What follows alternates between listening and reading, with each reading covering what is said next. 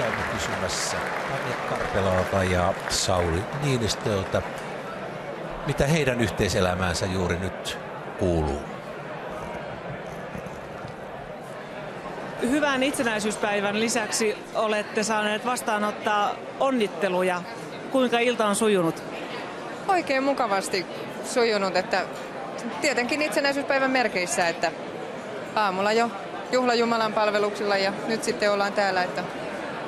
Olemme saaneet sen verran taustatietoa, että kihlasormukseen liittyy kulttuurihistoriallisia äh, tausta-asioita. Voitteko kertoa hieman sormuksesta?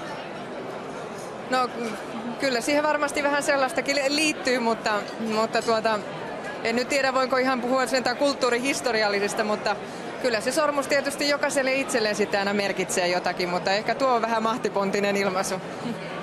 Aikaisempina vuosina täällä on spekuloitu teidän suhteenne laatua, mutta nyt se on virallistettu. Kuinka vaativien töiden ja yksityiselämän yhteensovittaminen eri maissa onnistuu?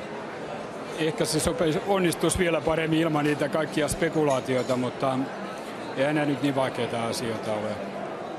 Miten iltana jatkuu? No katsotaan, jos vielä päästään pikkusen pyörähtelemään tuonne, en, en, en tiedä, mutta yritetään ainakin, että ihan mukavasti ja varmaan sitten jossain vaiheessa lähdetään kotiin kohde aika ajoissa. Kiitoksia ja hyvää iltaa. Kiitos. No niin, Karpela Niinistö siinä